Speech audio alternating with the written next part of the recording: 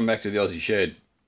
If you've watched the previous episode, you'll know that uh, I'm making a new footplate for the tailstock of the Chinese mini lathe. I showed a few bits and pieces of it as I was doing work on the saddle, but uh, I thought I'd do a full video on it. So this is the new footplate, this is the old footplate. In the upcoming video you'll see the steps I went through to make it and how it's set up and the benefits to it. So sit back, relax, grab a beer, and check it out. Thanks for watching.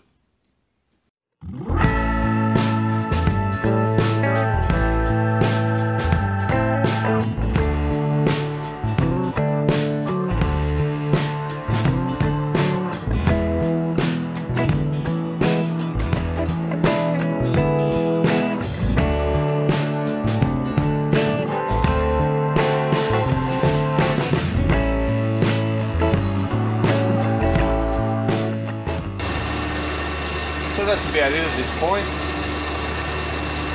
All I've done is taken a millimetre out of the depth across here.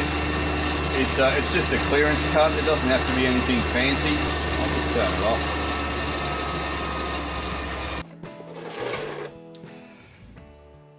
So this is what I was just working on over on the uh, on drill.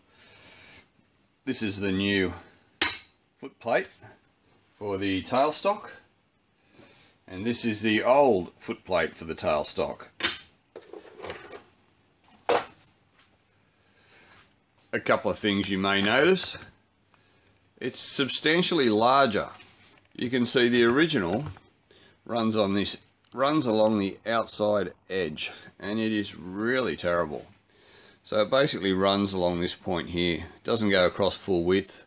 It only has a very light engagement on the on the back rail there and I've machined it down here to get it flatter but it's still not it's still not completely flat. So yeah that's, that's so you can see the new piece here that I'm making up.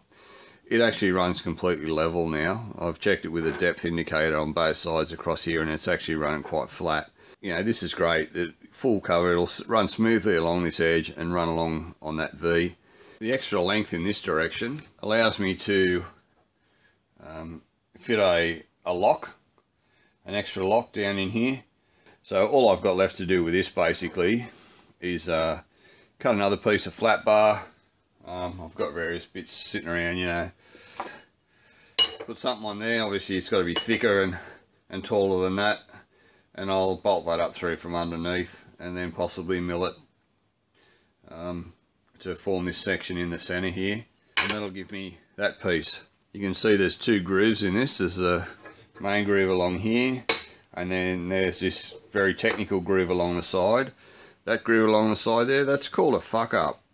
That's what happens when you're not paying attention to what you're doing and you're all excited and you start to hurry which is basically what happened to me. I mounted it 90 degrees out in the vise started to cut it and went uh-oh the light came on. So I only got as far as uh, running an end mill down just to clear out a lot of the the material first before I put the uh, the 90 degree cutter in there. And went oh no that's around the wrong way. But that doesn't matter. It won't cause any problems. There'll be a hole drilled probably through the center of it here for a locking mechanism. Um, so that's not really a problem. It's just more of an embarrassment because I've buggered it up and I don't have another piece I can use. Uh, if I had another piece I'd possibly make a new one, but then again, maybe I wouldn't because it doesn't really matter that much. Come to think of it, as soon as I have this funky chamfering end mill, I might uh, chamfer the edges of the new foot plate because the uh, the tailstock doesn't run up against the edges, so there's no reason why there can't be a bit of a chamfer just to give that really smick finish to it. Okie dokie, here we go.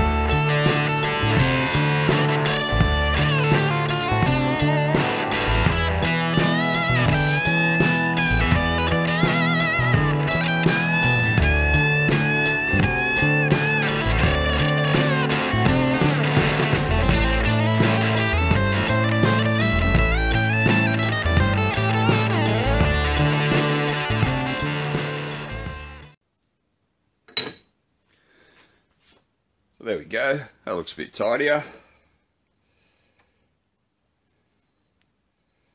Bit of edge work. Fantastic.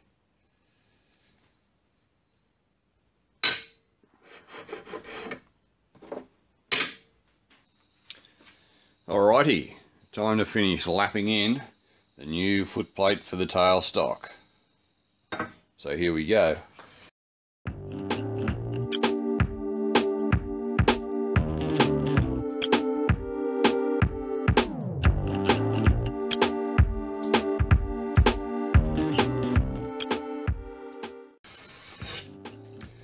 You can see the lapping pattern as the lapping's getting closer and closer you can see this area here hasn't been reached by the new pattern from the paper that's on the top of the lathe bed. You can see it's uh, it's almost over most of the area. This was pretty flat when I started, and the uh, the V groove that I cut in is not too bad as well. It only needs a little bit more. I haven't spent a lot of time on this, maybe 10 minutes. There's a couple of rough marks along the top, but it's looking pretty. It's looking pretty sweet. So I'll keep going. I'll keep going until that um, that little piece there is gone, and we're flat right across. Groove's already pretty good, but I'll keep going with that too.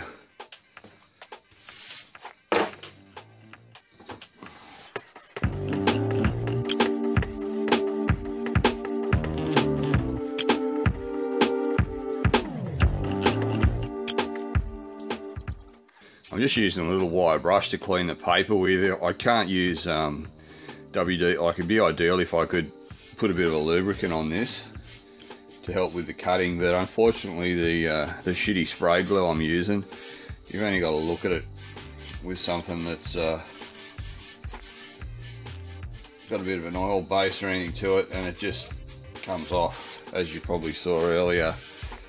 I um, when I was doing some work on the saddle, I gave it a little bit of a spray and it, it just came completely off. So uh, this is working out okay.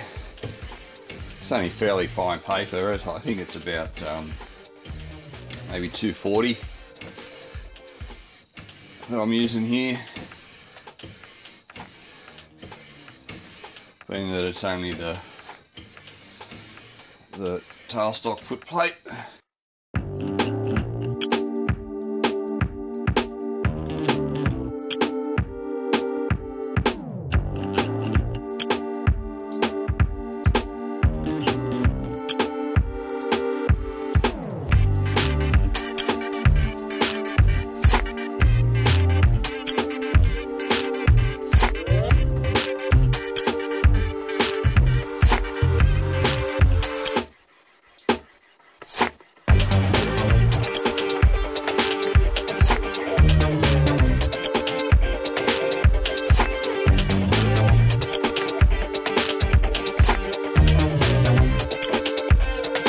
Find very handy, this is a, uh, a magnetic base off one of my um, indicator stands.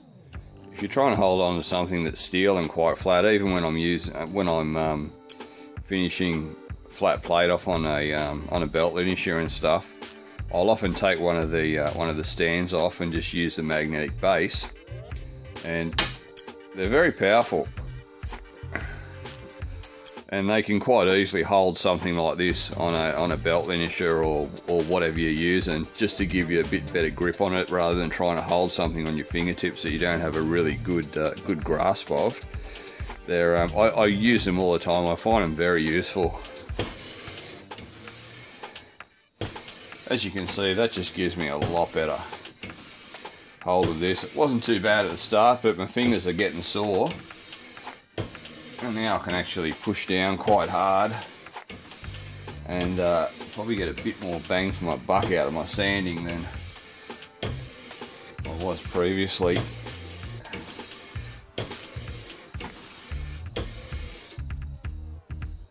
You can see we're getting there. Just there on that end.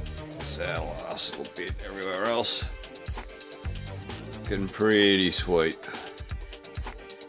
even those those marks that were up here are pretty much gone.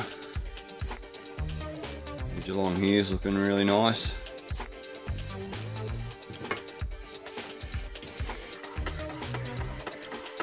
Trying very hard not to rock this as I'm transitioning from backwards to forwards. Trying to keep it as flat as possible, for obvious reasons.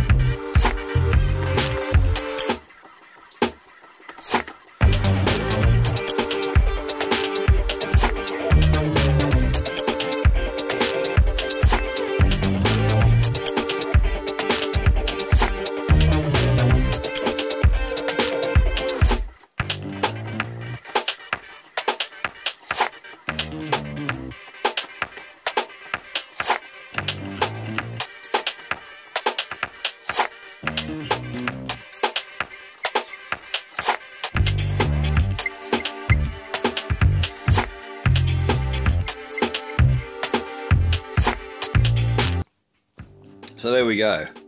I would pretty much call that done. I don't know if you can see there is a tiny little piece.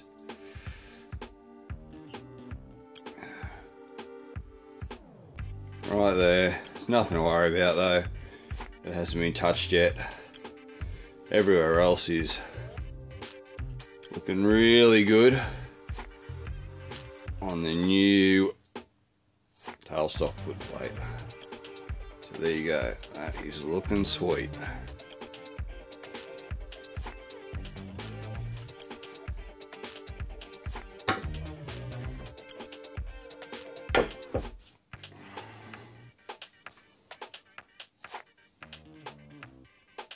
Done and dusted. So as far as I can see, the last thing that really needs to be addressed on the tailstock for the Chinese mini lathe, now that the foot plate is pretty much finished, is that I need to drop it down about half a millimetre and it gives me the perfect opportunity to clean up this, uh, this bottom section of the tailstock, which, if you remember from the previous video, is very uneven. Um, I can just kill two birds with one stone, drop it down and, and tidy that up. So I'll just, uh, I'll just mount it up in the in the kangaroo mill and take uh, take a millimeter off it maybe. I'll work it out, see how much it needs, and uh, I'll go from there. Take 0.6 and see. We've got I've I've got I've got about 0.7 between this face here and the top of the new foot plate. Um, so I'll take 0.6 off that. That'll still give me a, a tiny little bit of clearance in here, and I'll have a look if it's enough to get me down to where the rough center line of the um, of the chuck is on the lathe and uh, if it's not I'll just take a slight bit more out of here and I'll, um, I'll recut. Throw a bit of lube on there. It's always good to have a bit of lube, eh gentlemen? Here we go.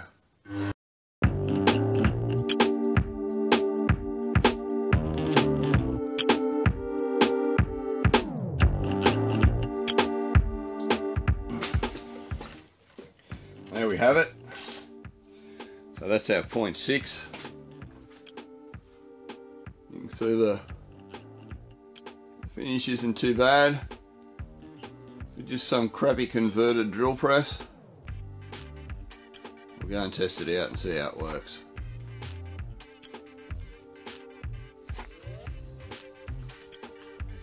Let's mount him back up and see how it goes. See how we went. Alright. That's looking pretty pretty damn good now we appear to be uh, we appear to be slightly low maybe 0.25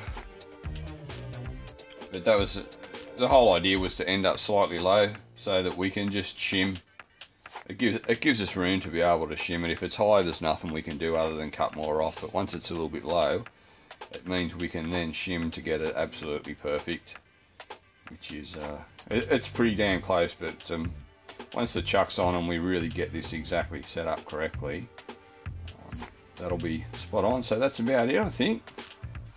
That's the um, the new tailstock foot plate completed. So that is pretty damn good.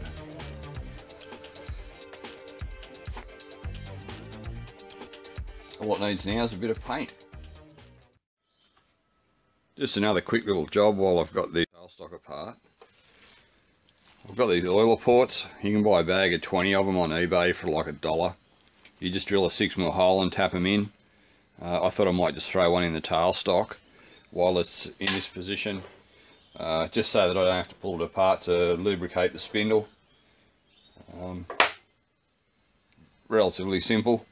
I'll just drill a 6mm hole, tap it in and I think that's pretty much the last thing that needs to be done to it.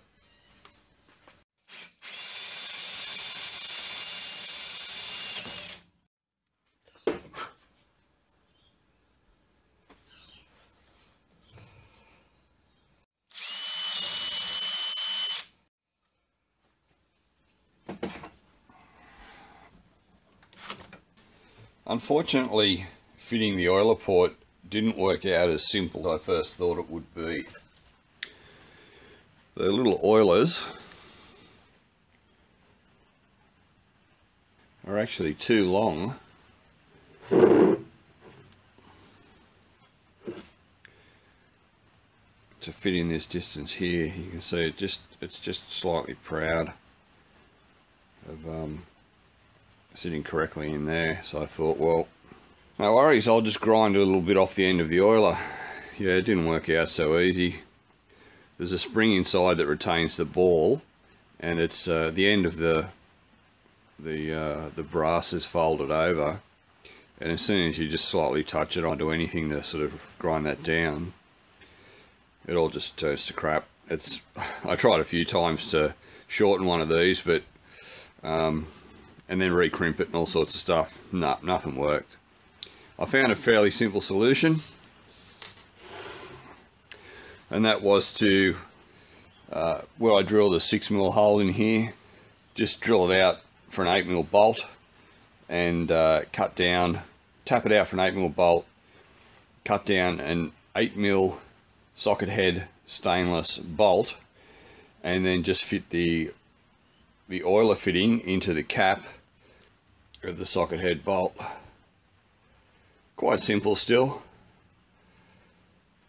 And uh, it doesn't look too bad. It's a little bit a little bit bulky looking. I was hoping for something that was a bit more stealth but it doesn't interfere with anything. It sort of you know does the job gets me an oiler port which is all I wanted really. So yeah nothing's ever really simple is it guys